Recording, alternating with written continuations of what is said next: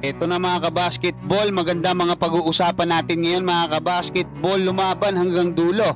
Etong kupunan ng Iran, sila yung number one sa grupo nila mga kabasketball at tinalo nga sila ng ating national team. Pag-usapan natin yan mga kabasketball at meron pa tayong good news kasi nga dito sa bagong post ng Hiroshima Dragonflies ay kasama nga etong ating pambatong si Kai Soto doon sa kanilang final 12 at bakit ba natin nasasabi na malabo na nga mapalitan itong ating pambatong si Kai Soto para nga dito sa Hiroshima Dragonflies? Pero bago yan, huwag kalimutan mag-like bilang pagsuporta. Sa kakatapos nga lang na laban ng ating Gilas Pilipinas kontra nga dito sa kupunan ng Iran mga kabasketball sa score na 84 to 83, isa lang yung lamang at ang matindi dyan mga kabasketball, galing yan sa 21 point lead ng ating national team dyan nga sa Iran pagpasok nung second half. So matindi yung hinabol nitong Iran mga kabasketball. Kala natin makakalayo na tayo at bandang huli, muntik pa tayong matalo ng Iran. Pero hindi po yan negative mga kabasketball. At nakagawa nga ng history itong ating national team kasi nga ngayon lang uli tayo nakapasok sa semifinals ng Asian Games. Dalawang dekada na po yung uh, huli, no? nung huli tayong nakapasok dyan sa semifinals ng Asian Games.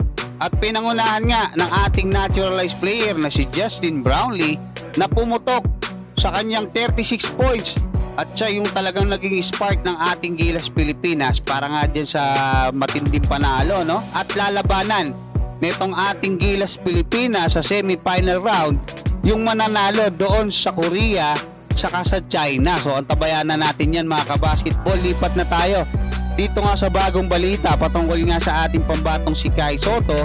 Nung nakaraan, injured siya. Alam naman natin na tatagal yan hanggang October 28.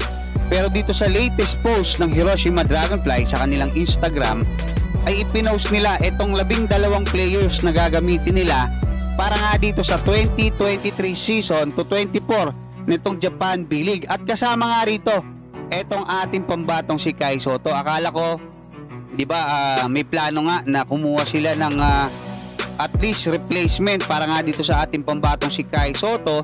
Pero sa nakikita natin mga kabasketball mukhang malabo. Kasi nga October 28, uh, ah, maaaring bumalik na si Kai. Nakikita naman natin nag-workout siya. Kaya niya naman talagang maglaro. Yun nga lang hindi 100%. At uh, basahin natin yung naging post ng Hiroshima Dragonflies mga kabasketball. Keep going Hiroshima Dragonflies will enter their uh, 10th season of founding the club this season. Thank you to all the boosters, partners, companies, the regions, and all the supporters.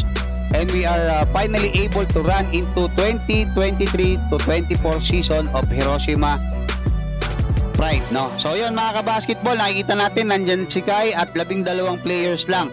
So mukhang malabo kasi wala namang papayag ng isang buwan lang at hindi rin na po pwede na dalawang buwan kasi baka nga makabalik na si Kai na healthy pagkatapos nung month na yon. So yun yung nakikita nating dahilan kung bakit siguro hindi na kumuha ng uh, panibagong uh, Asian import etong Hiroshima Dragonflies para palitan nga etong ating pambatong si Kai Soto.